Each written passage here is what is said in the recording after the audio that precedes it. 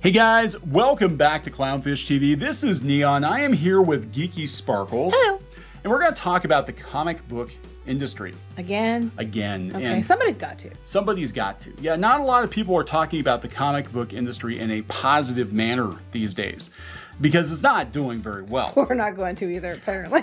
we're, we're not going to either. Uh, we're gonna we're gonna point out the obvious that people want comic books. They do. They want comic books. They just don't want what the mainstream comic book industry is offering them. yes.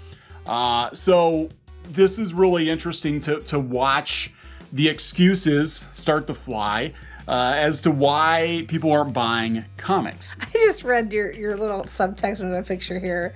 Superman is sad because nobody wants to buy his comic books anymore. He is sad, so he's got to rest his head in the bosom of Wonder Woman. I mean, Uh. who wouldn't want the rest of her head in the bosom of Wonder Woman?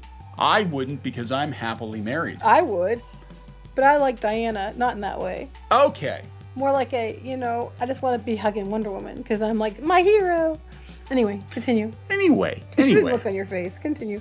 anyway, we're going to talk about that and how maybe, possibly, maybe comic book industry professionals and comic book publishers, I, I should say the publishers, the people who own the company, are, are starting to pivot away from Twitter, possibly, because there's definitely something going on, and we'll talk about some rumors that are flying around about, uh, you know, some of the websites now not getting access to comics like they used to. Uh, some people are getting gone from the industry, and I think it's do or die. I mean, this is- kind of follows up what Erik Larsen was saying the other day, and you know, again, this comes from Erik Larsen, who's kind of been against any any naysayers in the comic book industry. But he basically said, you know, Marvel and DC, uh, people working still working for those companies are getting threats from the top that they better start to perform or they're done. I'm surprised it took this long, Oh, frankly. I don't know. Uh, pandemic was a good excuse. Well, to- to before re- that, it, they were they were needing to be telling people to bring it, bring it, or you know, say bye, and they didn't. Well, I think, and this is what we're going to talk about. I think there what were excuses that were fed to people at the top that were like, "Oh, kids don't like comics. Nobody wants to buy comic books anymore." Well, we know Disney knows that's bullshit. Yeah. Disney specifically. And and uh, and these executives they believed it. They're like, "Oh, well, I guess it's just you know we're still doing okay. Nobody wants to buy comics. Whatever. It's a legacy business. We need them to you know come up with movie ideas or whatever." But we're finding out that a lot of the the movies that are being greenlit, a lot of the TV shows are not using the comic book ideas, and we're finding out, yes, that manga and crowdfunding are blowing up. They blew up during the pandemic, and what did not blow up was sales of Marvel and DC comics. But real quick, if you go out to Amazon, hey, if you go to this article and click to this link, we get it helps the channel. Oh, Um, you can get the entire Demon Slayer box set, right? Pre-order. I think it's coming out. I want to say October. Yeah. One hundred nineteen dollars for all of it. All of it. That's, You know, I'm sorry. I, I already ordered it. We Yeah. already ordered it. So um, I just wanted to let you know because a lot of people like Demon Slayer. So there you go. And that's kicking Western comics ass. It's kicking like pretty much the entire Western comic market by itself. one title. so and One that doesn't title. count everything else. And believe me, I think I think uh, you know Warner Brothers and, and Disney are, are paying attention. Oh, I know Disney is because they're trying to leverage into that. But anyway, Before we get into it any further, please subscribe for more pop culture news, views, and rants, guys. We're over 201,000 subs. I'm working on a game plan for a. we gotta do that. Yeah, uh, later this week or this weekend we'll do something. Okay. We'll we do got something. it. We gotta do something. Yeah, for 200,000. So thanks for the support, guys. Yeah, you know, who knew? Uh, a couple of years ago, we started talking about problems in the comic book industry because we worked in the comic book industry and we noticed problems. And we saw other people on YouTube were talking about problems and we're like, well, yes, we actually agree that these are problems and we can give you a little more insight because we worked on like maybe this other side of things. And we saw on the, at least like, I guess the mainstream publishing side of things, the Disney comic side of things, where things were. Now, you have to understand too, by us choosing to do that, which we did so knowingly, we kind of burned down all our bridges to go back to that because how dare we? Yeah, we did. And I think what we're we're going to see now, I don't think we're going to see the comic book industry admit that it was wrong because there was a concerted effort to uh, smack down any dissent on YouTube, right? Let's let's put it that way. That's how we'll politely put it, right? Um they're not going to admit they're wrong. What they could potentially do is just do a course correction and then just pretend that all Oh, it was YouTube our plan all the time. It was our plan all along. We meant to fail. Had we meant to to do. do. that. It's all good. had nothing to do with YouTube, had nothing to do with these these naysayers. It's okay. This bitch slaps back. So anyway, yeah, there are definitely two different comic book industries. Uh, manga sales and comic book crowdfunding numbers are at an all-time high. Uh, you know, crowdfunding's through the roof, and it's not just Kickstarter. And we're going to talk about that later too. It's not just Kickstarter because Indiegogo keeps getting ignored by journalists, even though a lot of these Indiegogo campaigns have done better. Oh yeah, we're gonna talk about that. By the way, this is an article on D-REZZED. Uh, some dumbass over there wrote this.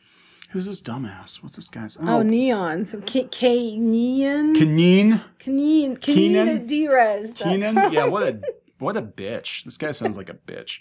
Uh, oh, I'm sorry. I didn't want to assume his his their gender. Wait, come here, give me a second.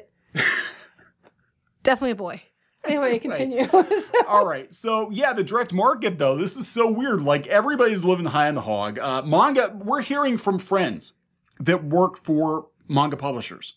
We're not gonna say who, but we're hearing from them that they can't get the stuff printed fast enough. The, the booksellers are re- booksellers, not comic shops. Booksellers are reaching out to them, being like, "Can you give us an exclusive cover or something? We need something original, and we can't keep this stuff in stock." I'm seeing, I'm seeing. Uh, I saw on Twitter people posting images of uh, Demon Slayer being sold out until like October, November on the shelf, like at Barnes Noble. Like we're not getting any more Demon Slayer.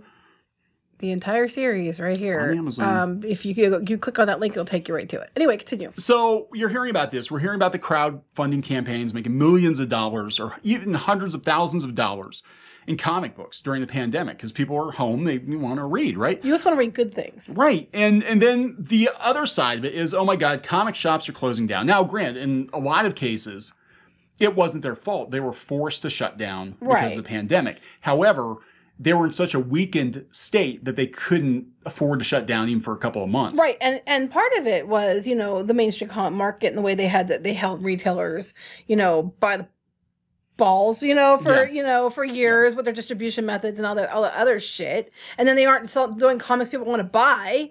Yeah. I mean, you know, you can't blame the the comic shops. No, uh, but yeah, they basically they play the uh, the hand they're dealt, and some of them have dipped out. I mean, we said before. I, I know that there was one retailer that I ordered a lot of stuff through the mail uh, from them, and they said we're no longer selling new comics because frankly we can't sell them.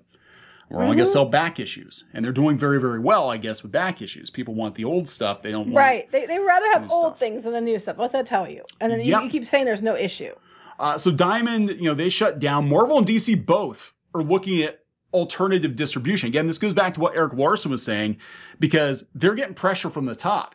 Like they gotta perform. Disney and Warner, both, especially Warner right now, because they're merging with Discovery. They just sold off a mobile game company today. You know, they're looking at the comic book thing like, you guys aren't selling much. Yeah, they're selling off more profitable things. Yeah. Um, you know, it just the whole thing with the diamond thing, and I said this before, and I still say I know when I first met you, I didn't know much about comics. And when you explained to me how comics worked, I thought that was the dumbest thing I ever heard that everybody had to go through diamond. I'm like, that's stupid, because what happens something happens to diamond? yeah. And you're like, oh no, th- th- this is the way it's always been done. And I'm like, that doesn't make it the right way. It's stupid. It is stupid. It's it's a, what do they call it? A critical point of failure. You have one you have one thread that holds up the entire industry, and when somebody cuts that thread, Mm-hmm. and we saw it during the pandemic, Diamond decided to crawl under the desk in the fetal position. They left uh, you know publishers and retailers and fans high and dry. And you know what? Marvel and DC they're getting pressure from executives from multi-billion dollar companies are like we still have to publish so we're going to go with penguin we're going to go with lunar or whatever it was or ucs and they they went around diamond Yeah, well, I, it was always a, a stupid way to do business. It's always been.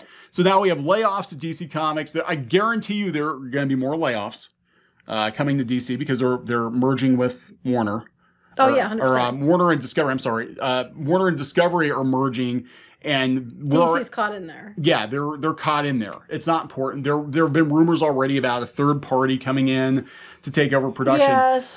But where we're going with this, so this is the state. Where are we going with this? This is the state of the direct market. I'm trying to paint this picture because Okay. meanwhile, manga's blowing up, crowdfunding's blowing up, and all you see are these headlines. You know, comic shops are closing. This is coming from a Pimp Master Broda. Comic book stores closed permanently. Nothing to see here. Comic book industry is dying. Uh, the wow, Guardian. it's almost as if someone's been saying that for a while now. Why are comic shops closing as superheroes make a mint? Because the movies have little to nothing to do with the comic books. I'm just sitting here like, are you kidding me right now? Oh, Demon Slayer manga outsells entire U.S. comic book industry. It's almost like people have been saying this and they keep getting called names. So here's here's where a lot of the problems were because you know basically the comic book industry from where we're sitting has been listening to a relatively small cabal of people that spend entirely too much time on Twitter. They've been listening to the whiny babies on Twitter who yell about everything. They literally spend their day going around looking for things to be offended by and to scream about. Um, and to belittle on Twitter because they didn't, you know, like the same thing they did a cartoon or movie or comic or whatever.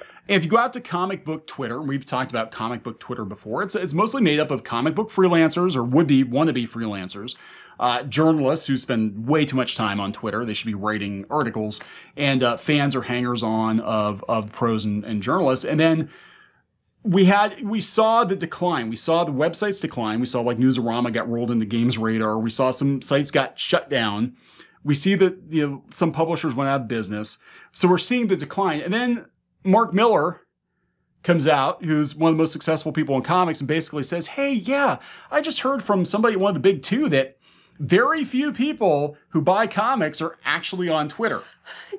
Again, it's almost as if people have been telling you this for a while now.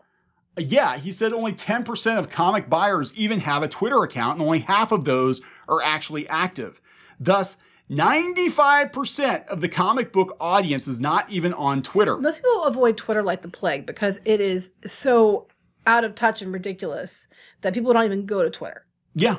So imagine you're a comic book publisher and you've been listening to Twitter for the last eight or nine years. You've been listening to comic book journalists who live and die by Twitter.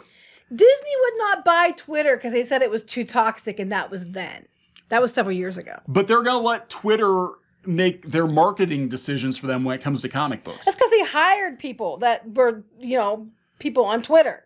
Yeah. And these journos, they all hang out on Twitter and they have a nice, cozy little system. So then, you know, we get a couple of uh, uh, snags, a couple of snags. They hit some snags where outside of the Twitter ecosystem, outside of the blogs that are dependent on the Twitter ecosystem, Outside of the dome. outside the dome, right? They they Oh, I'm sorry, it's pronounced dumb. I, I always do that dome. wrong. we get YouTubers and outsiders coming in and giving their hot takes on the state of the industry. And they cry foul. They're like, oh my God, these people are horrible. They're just a bunch of Yahtzees. Don't listen to them, Marvel and DC. Oh my God, they don't know what they're talking about. And then some of these people turn around and start making hundreds of thousands of dollars in crowdfunding. Mm-hmm. Uh, more money than a lot of the comic book professionals who hang out on Twitter made. So then the story, you know, it just keeps changing. They're like, well, it's just a one off and oh, whatever. It's still amateur hour, whatever. Well, then, No, it- that is because oh they want to support they're alt right or blah blah blah, and these people want to support them because they're they're Yahtzees. Hurry, cancel them. yeah, it had nothing to do with buying comics. They're just a bunch of people who just, they're white supremacists who just, you know, were just giving But they're not money. even white. Doesn't matter. They internally they're white inside. They're white inside. Uh, they got vanilla cream in them. That's right. Oh, get and if it's a woman, it's because she's actually a misogynist. She just doesn't know it yet.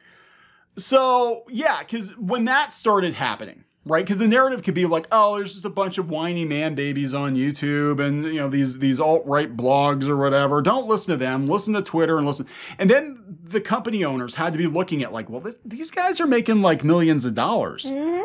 What's going on here? Oh, uh, nothing to see here. Well, then it, it doesn't stop there. Then you get Todd McFarlane, one of the biggest names in comics, U.S. comics ever, does a campaign on Kickstarter, gets millions of dollars. Then you get Boom Studios. Boom Studios does this book with Keanu Reeves, and they get millions of dollars. It's almost as if people want good stories and good characters. and They don't care about the politics. No. It's So- almost like that. So what's going on now is we're running out of excuses. Okay, well, we can't sell comics. Comics don't sell. Well, why are people back in the Kickstarter? Oh, they're just Yahtzees. Okay, well, here comes Boom with Keanu Reeves.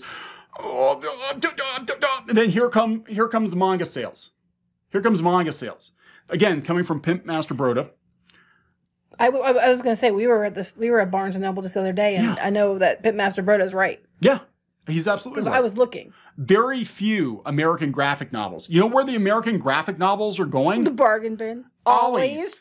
I knew you were gonna say that. Where comics go to fucking die. They go to Wait, Ollie's. wait. To go to fucking die or fuck and die? sorry, mom. Ah, Not really sorry. That's a that hell of a way I'm go sorry, but I'm not really sorry. That's a hell of a way to go out, isn't it? I know. I mean, if you're gonna go If you're gonna go, you might as well have fun. One big final bang anyway. for the end. Anyway, um, yeah. So this this is happening. You can't ignore this. Constant articles. Again, you could ignore the the bloggers, you could ignore um, the YouTubers, whatever. But when you've got mainstream media outlets talking about how phenomenally successful manga is and how successful crowdfunding is, there are no more excuses. no. You've No. basically been you've been taking like I always I always tell people and they get pissed at me and I don't give a shit. A lot of people get pissed at me these days, so fuck off. I tell people I never take life advice from people who are failing at something in life. You never take financial advice from someone who's filed for bankruptcy multiple times, mm-hmm. right?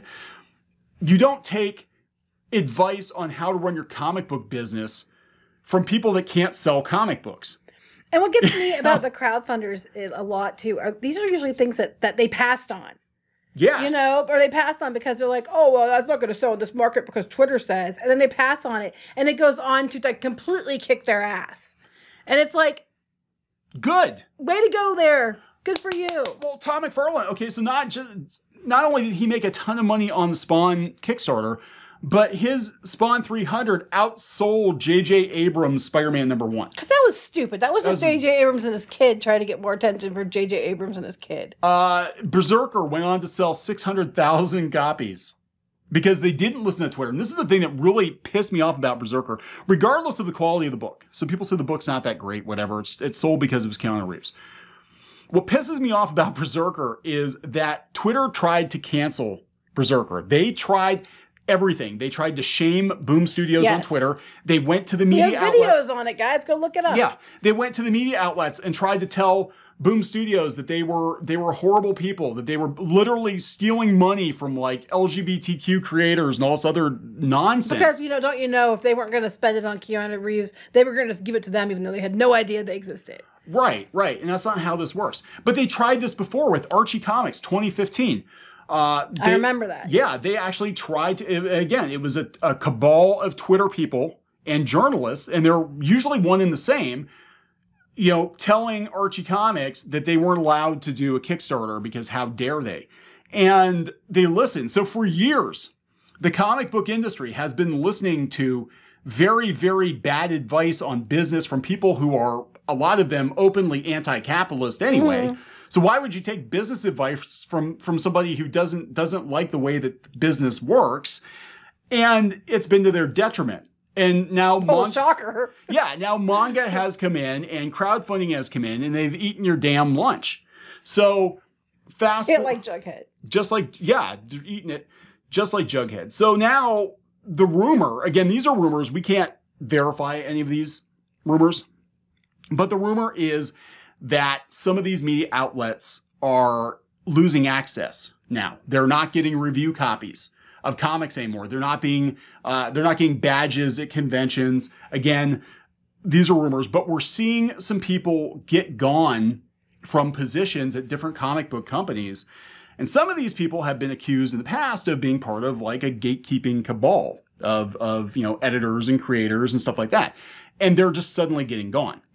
So it's possible. I mean, I'm not, we're not saying that's 100%, but it's possible that comic book publishers, business people now are like, oh shit, you know, we're out. This is it. This is the end. We've we're out been of saying excuses. for a long time, like, how long is it going to take these comic companies realize that they have to make money, and they're going to have to like put an, a stop to it because they're gonna they're just going to bleed out if they don't, you know, put some stitches in that thing and put a band-aid on it. And and it, it's taken longer than I thought it was going to. If I'm going to be honest with you, that they're finally fighting back and they're finally questioning some of these people who keep telling them, you know, like the worm tongues whispering in their ears, saying, like, you, you know, if people shame if you let that person work on this Yeah. because they're just, uh, uh, and, you know, this or that or the other. You need to hire this, you know, this type of person over here who has no experience whatsoever, but who's my friend, you know? And that's been what's going on. And you know, I'm not surprised that they're starting to pull the plug on these people. They have to if they're going to stay in business. Yeah, I think the only reason, if if this is actually what's going on, if the the the rumor of all the the Whisper Network stuff and the purge and all this is actually going on, it's because this is the absolute last hail mary pass they're getting. Because I think there are, uh, you know, you you pair it up with what Erik Larsen was saying and what some other people are saying, and it sounds like What and people like us have been saying since before they said right, it. right And we got, you know, blacklisted for saying it. years, years. And it's, it's definitely not So us. much There- shit we've taken. a lot of people, God, you, yeah, you'd be surprised the shit that we don't talk about that we've gotten. Like we knew as soon as we started talking about this stuff that our our whatever foothold we had in comics, it was over. But we knew what was going on was wrong and we had to say something. Yeah, and uh, there's no going back. It's a it's a sinking ship. And you know, I think it might even be too late for some. I think it's too I- I mean, they're going to sell them off, and they're. Gonna, I, I think it's too late. They had they needed to patch these holes a while back, and they didn't do it. Yeah, you can't wait until the the boat is sinking to think about patching the holes or think about putting a life raft on the, the boat. You know, and that's what they're doing. But it's going to be interesting to watch this. Again, uh, you know, manga has completely dominated graphic novel sales here in the US too. People are making six figures. I was to say crowdfunders are kicking their ass. Crowdfunders are kicking their ass. And it's not just Kickstarter. That pisses me off too. Uh, these journos that hang out on Twitter will not acknowledge Indiegogo. They will not because they don't they don't control it. they don't control it. No, I don't think they control Kickstarter anymore either. I mean, more so than Indiegogo, but there are people out there making over a million dollars on Indiegogo, and you will never hear the mainstream comic book journalists talk about it because it's verboten. But so to me, that does not that's not journalism because at that point you're just you're just you're, you're just spreading a narrative that goes along with what you think. Where a real journalism would be like you're trying to find out the facts and you're trying to report the facts, and that's what we ran into trouble because how very dare we speak out um, on facts and not on uh, feelings, and and that got us, you know, in so much trouble. But here we are, th- three years later, Yeah. and and now they're all saying what we've been saying because one of the first things we talked about was this kind of stuff Yep. So there it is, guys. Uh, it's it's not going to get any better. I, I think the only the only thing that these publishers can do is try to do damage control until the inevitable end. Unfortunately. So we're gonna wrap this up. All right. So please subscribe for more pop culture news, views, and rants, and we'll talk later. bye